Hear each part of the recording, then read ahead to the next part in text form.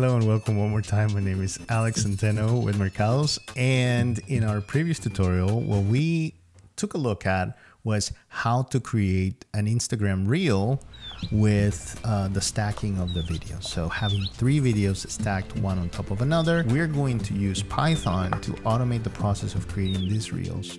And so we're just gonna select clips and then run Python. And Python is gonna replace those clips with the new clips and then allow us to shortcut our process so that we can flood the Instagrams with um, with with videos of this type.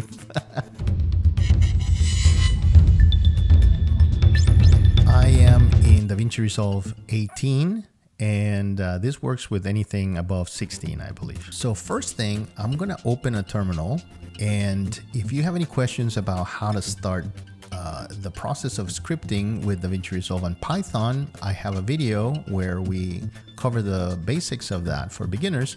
So uh, I'll put the video in the description below so that you can check that out. The first thing we're going to do is create a foundation and uh, and then uh, import that foundation. Again, something that we have done in videos before, so you can check that out. The basics of it is that we are importing a timeline, a media pool, things of that nature, uh, so that we don't have to also create those things every time that we create a new Python uh, script uh, that we're going to use. So I'm just uh, importing a library that I created, very simple. And again, like there's a video in the channel that goes into the specifics of creating a foundation file so that you don't have to do it. Second uh, part is I am uh, importing that as CD and then uh, using the method of CD and the property timeline I'm sorry, using the object CD and the property timeline to create a timeline and then the CD media pool to create a media pool. So that's our first step. What I'm doing is calling the media pool and then calling a method called get root folder. So I'm gonna go to documentation and uh, again, you can uh, purchase this documentation. It's super inexpensive. I think it's like uh, $9 right now in alexthecreative.com. And basically, what we can do with this documentation that you can't do with the original documentation in um, DaVinci Resolve is that we can type things and filter the methods so that we don't have to, you know, memorize or search through the text document, which is very cumbersome. So, get root, get root folder. So uh, it tells me that it's a media pool method and so I can click on it and it tells me exactly what it's going to return. So if I'm looking for the root folder of the media pool, then I can just call this method. All right, so that's what we're doing here. We're basically getting the root folder of the media pool. And then what we're gonna do is get a clip list of, uh, of uh, what we have in that media pool. So now let's go ahead and do for clip in CL. And then here, let's just print whatever brings back or whatever comes back from that just to see what it has. I'm going to save and run this. So Python 3 and I named it i1.py. So let's see what it says. All right, so it returned each one of the items that I have in the media pool but uh, it just basically gave me all the information, all the objects themselves. And what I'm more interested in is knowing which one is which one. So what I need is to get the name of those clips. So what I would do is just go to my documentation, type something like get name, and sure enough, like the media pool items have a method called get name. So let's try to do that. So clip dot get name uh, uppercase get name and let's run it to see what happens. Awesome. So now I get something more significant for me because it actually tells me which one of these objects is which one of the clips. And um, even though I could use this for my script, I rather use the ID because the ID is not going to change. So um, basically, we're going to create a loop And then if it is a particular clip, like the one that I have placed in position number one, number two, or number three, which are these ones, these clips, then uh, go ahead and replace them with the ones that we are providing for the script. So let's take a look. I'm going to call get media ID to see if it returns instead the media ID of each one of those clips. Perfect. So now I have that these are the media IDs of those three first clips. And so what I'm going to do is detect for this IDs and then replace them if it's one of those.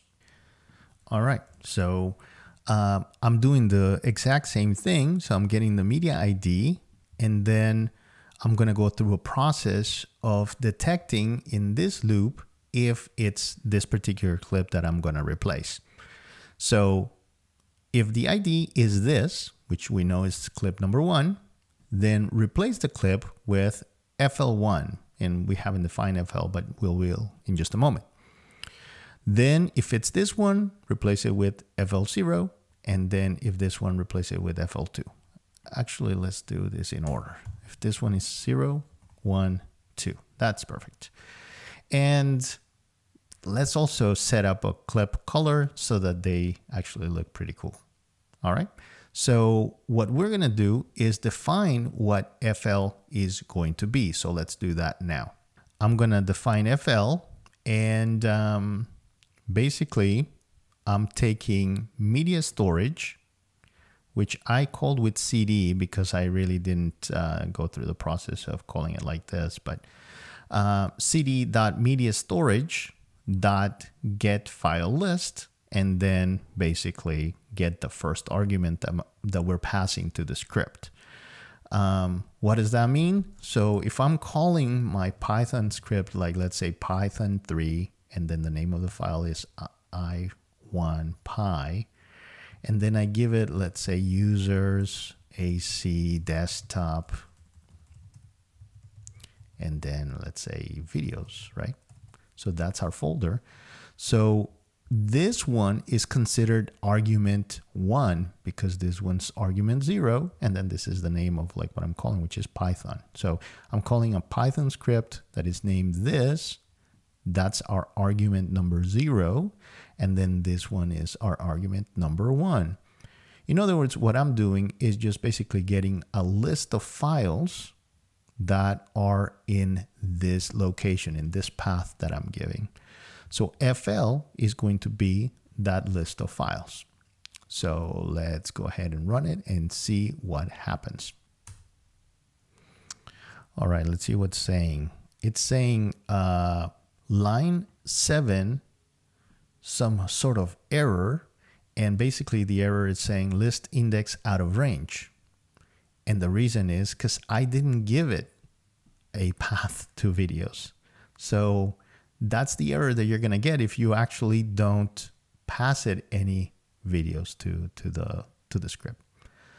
So let me get some videos so that we can pass some videos to the script. I'm going to call it Python 3 i1py and I'm going to give it the location of a folder that has three clips. And those are the clips that are supposed to be replaced or those are the clips that need to replace the old clips in our file. So let's run it and see what happens. Awesome. It seems like nothing happened. Let's go ahead and check. And if we go to timeline, then bam, our new clips are in there. Now, another thing to note, which is a really cool thing to note, is that the grade that we did is also in place because the grade was applied to the co compound clip rather than to each one of the individual clips. And if you remember, the reason why we did compound clips was so that when we're replacing, we're not getting rid of all the things that we did, but just like the clips themselves.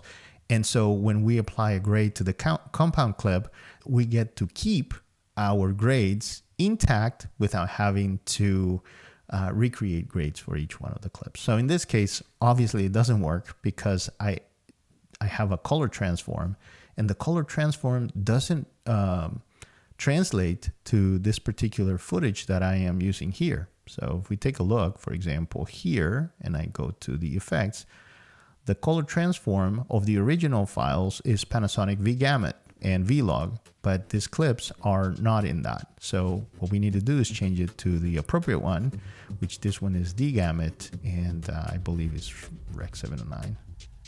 So there you have it. All right. And that is what we got. So now you could just export it and save it to your phone and then send it to Instagram. So let's review what we did. First, we bring the foundation so that we don't have to reinvent the wheel. Then we define FL. Then we grab the root folder of the media pool and we grab the list of clips from there, we're getting the media ID to identify them and to replace them. But before we did that, we got its name so that uh, we can see which one is which one, which one are the ones that we want to replace. We just use the IDs to replace the clips one by one and then give them the nice colors. So uh, we haven't even seen those colors. Let's see if like they actually happen. So I'm gonna go here and as you can see this one is orange this one is green and this one is purple. I hope that this has been really helpful. It's a combination. It's a, a two uh, video combination or two tutorial combination that allows you not only to take your social media game to the next level but also do it automatically and that sounds pretty good. If you enjoyed this tutorial please take a moment to like and subscribe and i'll see you on the next one Take care. Bye bye.